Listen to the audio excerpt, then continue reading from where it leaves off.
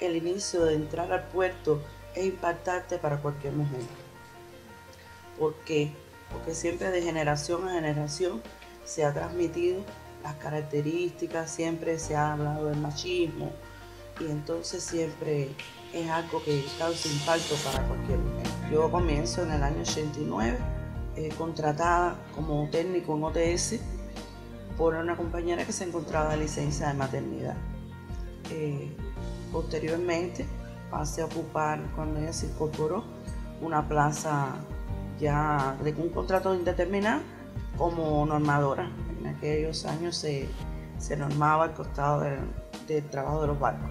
Posteriormente pasó a ocupar una plaza en economía y eh, el director, siempre la intención de la dirección eh, fue la incorporación de las mujeres. Nos daban acciones de capacitación, nos preparaban. Y entonces estuve un tiempo que por un compañero que salió a cumplir una misión, como decimos en el partido provincial, un curso, me propusieron estar en el sindicato provincial como organizadora. Y mi director me mandó a buscar y me planteó que había una situación puntual con el cargo de seguridad y protección y que él necesitaba si yo estaba en disposición.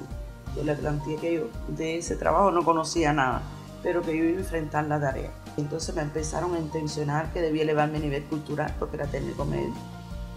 Y comenzó el arribo de la universalización, pero como yo era un interés del ministerio, eh, hice mi curso por continuidad de estudio.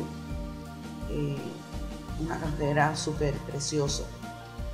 Pienso que hoy tengo una mirada diferente ya no camino mirando para abajo, siempre buscando qué puede haber en el patrimonio, qué puedo encontrar en mi ciudad.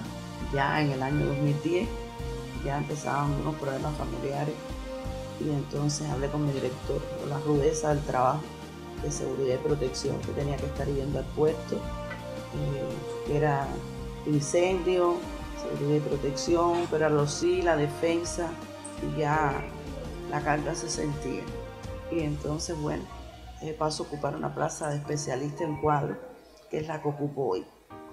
Y en el año 2017 me inserto para hacer el modo propidáctico, propidáctico de la, licenciatura, la maestría en estudios socioculturales, que me interés era concluir la tesis de licenciatura del dirigente sindical portuario Santiago Pastor Pelayo y del doctor Agüero, que era mi profesor y el jefe de la maestría, me dice que el yo trabajar en el puerto para ellos era una necesidad investigar el género en el puerto de Cienfuegos.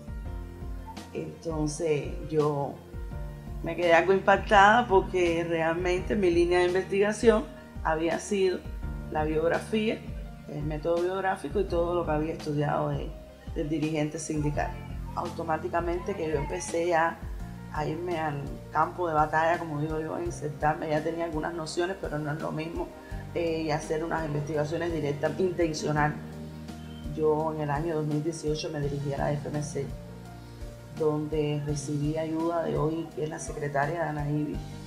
Ella me mandó con una compañera para que me diera muchos trabajos que existían y yo en diferentes etapas empecé a proyectarlos de audiovisuales, y me, envía a trabajar con una colaboradora de la Federación con Lourdes, que se trabaja, hoy se encuentra trabajando en la Asociación Martiana. Y comenzamos a hacer trabajo por el 8 de marzo, en la jornada de la no violencia. Yo convocaba a mis compañeras que se vistieran de malva, de naranja. Cada vez que había una fecha, convocábamos y hacíamos una revolución, como digo, fui dentro de la revolución las mujeres. Y entonces, bueno, así fuimos dando pasos, y paso y paso hasta lo que tenemos hoy. Y bueno, seguimos trabajando, pensamos en un futuro poder hacer más cosas, como poder lograr un, evento de género con las cualidades que posea una científica, otra culinaria, otra poder lograr hacer un evento de género. Y también quisiéramos involucrar a la CTC, que quizás pudiéramos hacerlo más, ampliarlo, hasta con más compañeras de transporte como tal. Ha sido significativo el vínculo de la FMC, tanto en mi vida personal como profesional, porque en los talleres que he participado eh, por el PAN, por en, la Asociación Martiana también de los talleres que están dando sobre la no violencia, la vinculación con la federación, me han ayudado a poder accionar en algunas cuestiones dentro de mi comunidad.